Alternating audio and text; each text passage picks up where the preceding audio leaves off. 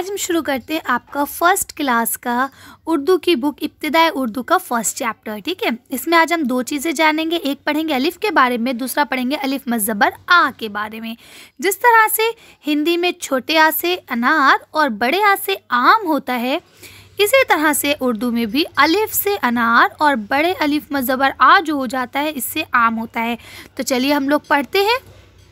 देखिए, अलिफ से अनार, अलिफ से अंगूर ठीक है? इसी तरह से ये देखिए, बड़े आ से आम, बड़े आ से आँख। ठीक है? तो इस तरह से अलिफ मज़बर आ से आम, अलिफ मज़बर आ से आँख। तो दोनों चीज़ें आपके समझ में आई। चलिए आगे पढ़ते हैं। तो देखिए, अब यहाँ सिर्फ़ और सिर्फ़ आपको कहा गया है कि आपको मश्क करना है, अलिफ लिखना है तो अलिफ कैसे लिखते हैं? ऊपर से सीधा एक डंडा खींचते हैं, ये आपका अलिफ हो जाता है, ठीक है? इस तरह से। तो ये आपका क्या कहलाता है? अलिफ। ठीक, और अलिफ हम ऐसे ही बनाते हैं, और अलिफ बनाने के बाद इसके ऊपर हम इस तरह से जो ये डिज़ाइन बनाते हैं ना, ये जो आपको ऐसे डिज़ाइन दिख रही है, ये ये कहलाती है मद। क्या कहलाती है? मद। तो अलेफ, मद, ज़बर आप ठीक है? इसको हम क्या पढ़ेंगे? अलिफ ज़बर आ।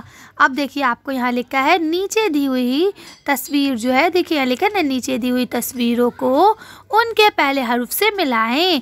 तो अब चलिए हम लोग मैचिंग करते हैं। तो देखिए ये है अलिफ से। अब बताइए अलिफ से आग होगा या अलिफ मज़बर आ से आग होगा? हम्म, अलिफ मज़बर आ से आग और अलिफ से अंडा। ठीक है? तो इस तरह से आप मैचिंग कर लेंगे। चलिए आगे देखते हैं। तो अब यहाँ आपको लिखा है, नीचे दी हुई तस्वीरों का पहला हर्फ लिखाइए। तो अब बताइए, पर नीचे कौन कौन सी है? देखिए, ये है अमरूद तो अलिफ से अमरूद, और ये है आरी तो अलिफ मज़बर आ से आरी। ठीक है? कर लेंगे आप लोग। चलिए तो आज की वीडियो को अब हम यहीं ख़त्म करते हैं। आज की वीडियो में बस इतना ही। अगर आपको हमारी वीडियो पसंद आई हो तो प्लीज़ इसे लाइक और शेयर करें। अगर अभी तक आपने हमारे चैनल को सब्सक्राइब नहीं किया तो प्लीज़ मेरे चैनल को सब्सक्राइब करें। Thank you for watching.